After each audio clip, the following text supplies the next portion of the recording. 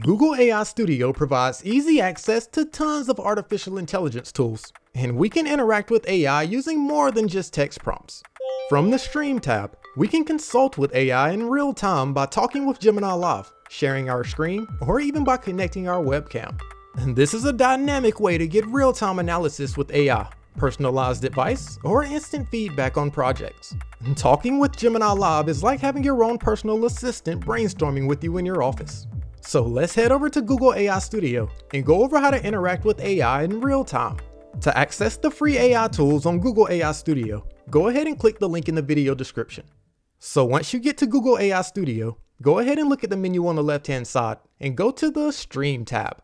Here's where we can talk with Gemini Live, share our screen, and when we connect our webcam, we'll see the webcam button pop up here as well. So for our first example in the Stream tab, let's go over how to use the Talk feature. With the Talk feature, we can use voice input to ask Gemini for creative ideas in real time. It'll even talk back to us and respond in one of 30 different voices that we can select from. If you wanted to change the AI voice, simply use the drop down menu here. But for this example, I'm just going to stick with the default voice. So let's say I want to grow my digital marketing agency and I want to talk with Gemini to come up with some ideas. To begin a back and forth dialogue, let's click the talk button here. If this is your first time using the talk feature, you'll need to use the pop-up window here to allow Google to access your microphone. Now when I hit the talk tab, the stream should go live and I should be able to start talking with AI. So Gemini, give me three social media marketing campaign ideas to help grow my digital marketing agency. Okay, here are three social media campaign ideas to help grow your digital marketing agency. You could run a campaign providing valuable marketing tips and insights Share industry knowledge and position your agency as a thought leader. Consider a campaign offering a free consultation or digital marketing audit. This is a great way to attract potential clients and showcase your services. Not bad. It answered my question and the voice was easy to understand. Feel free to brainstorm back and forth with AI as much as you like. All of your responses will be available here in text and audio versions. And once you're finished, you can end the stream by clicking the icon here. The options will then be available here to resume your stream or start a brand new stream. So as you can see, being able to talk directly with AI is a great way to brainstorm ideas. But from the Stream tab, we can also have AI analyze our screen by using the Share Screen feature.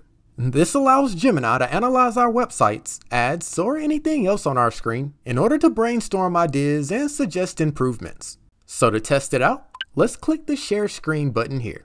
This will display a menu where we can select to show our browser tab, a specific window, or our entire screen. For this example, I'm going to use the Facebook post I was working on earlier and see if AI can analyze it if I share my screen and provide me with some good hashtags to boost the post's reach. The post is about launching a website for my digital marketing agency, so let's see what it comes up with. So from the window tab here, let's select the one showing my Facebook post, then click the share button at the bottom right and my screen is now being shared with Gemini. Since we're on the Stream tab, to analyze my window, I can simply start chatting with AI. So Gemini, what hashtags should I use to help boost this post reach? Since your post is about a website launch, consider using hashtags like hashtag website launch, hashtag new website, or hashtag online business. Those can help your post reach people interested in new online resources. Not bad.